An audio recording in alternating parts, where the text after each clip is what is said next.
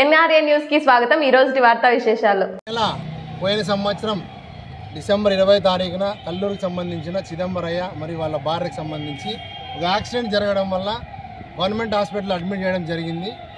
వాళ్ళు Sairatna multi speciality హాస్పిటల్లో కొంతమంది దళారుల ద్వారా అక్కడ జాయిన్ చేయడం జరిగింది. వాళ్ళకి జరిగిన రెండు చేతుల ఆపరేషన్ ఫెయిల్ అయినాయి.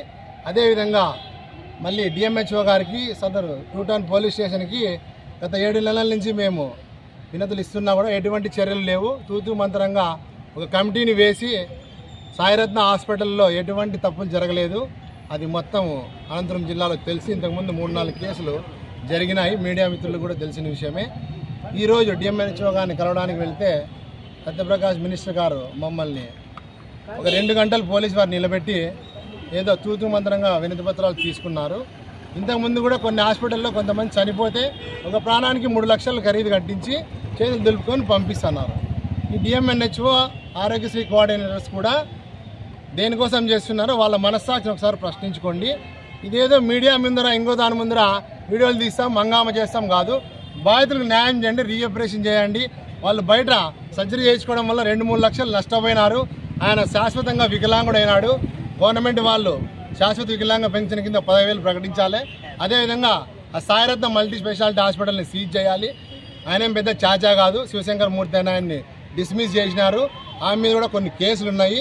ముఖ్యంగా వైద్య ఆరోగ్య శాఖ మంత్రి గారు మీరు ప్రజలకు అందించాల్సింది విద్యా వైద్యం పేరుతో ఉన్న ఏదో హామీలు కాదు.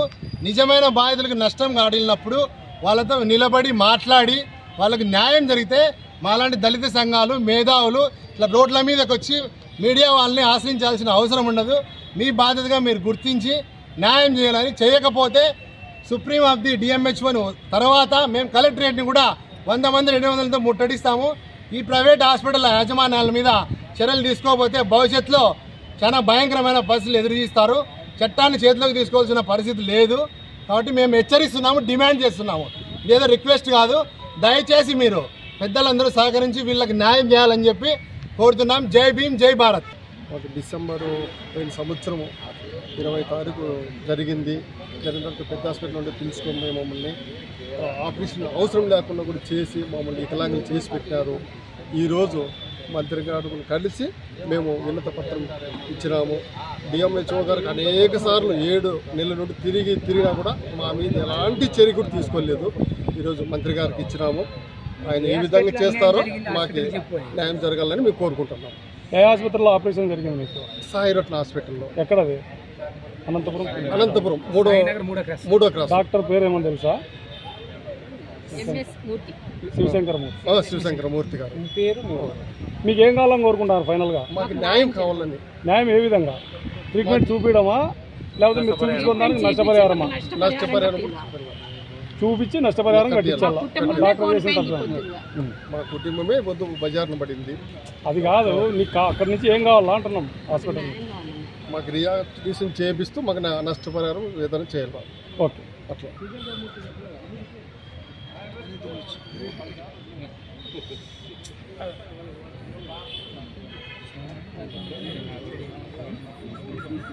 ఏమైనా బోన్ ఎరిగిందన్నా చిన్న ఏంటంటే ఇక్కడ స్క్రూ పై ఊడిపోయింది పైకి వచ్చేసింది.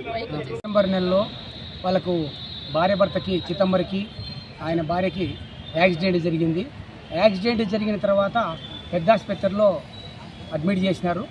అడ్మిట్ చేసిన తర్వాత ఇక్కడ ఉన్నటువంటి కొంతమంది డాక్టర్లు తర్వాత ఇక్కడ ఉన్నటువంటి కొంతమంది బ్రోకర్లు కలిసి ఈ సాయిరత్న హాస్పిటల్ అంటే సాయినగరు థర్డ్ క్లాస్లోకి రెఫర్ చేయించినారు అక్కడ చేసిన తర్వాత ఆరోగ్యశ్రీ కింద వాళ్ళకు ఆపరేషన్ చేయించినారు.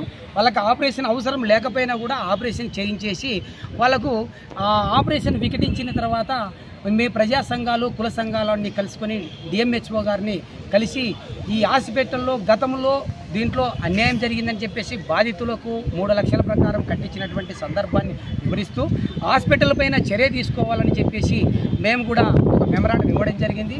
ఆ మెమరాండానికి డిఎంహెచ్ఓ గారు మేము దానిపైన విచారణ జరుపుతామని చెప్పేసి విచారణ జరిపించి తూతూ మంత్రంగా నీకు హాస్పిటల్ వాళ్ళది తప్పు లేదు బాధితులకి ఆపరేషన్ అవసరమయ్యింది కూడా వాళ్ళు ఆపరేషన్ చేసుకున్నారని చెప్పేసి డిఎంహెచ్ఓ గారి దగ్గర ఉన్నటువంటి రిపోర్ట్ అది తప్పుడు తడగగా అని చెప్పేసి మేము మీ ప్రజా సంఘాలుగా తీవ్రంగా ఖండిస్తూ ఉన్నాం.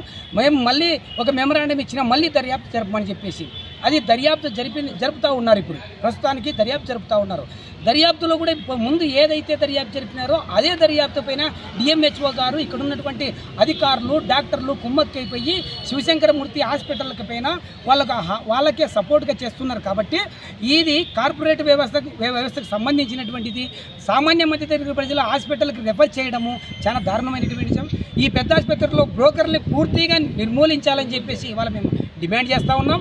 ఇక్కడ ఇప్పుడు ఇప్పుడు మేము ఇక్కడ ఉన్నటువంటి మంత్రి అంటే ఇక ఈ ప్రజెంట్ ఆరోగ్యశ్రీ మంత్రి ఆ ఆరోగ్య శాఖ మంత్రి గారిని ఒక మెమరాండం ఇచ్చినాం.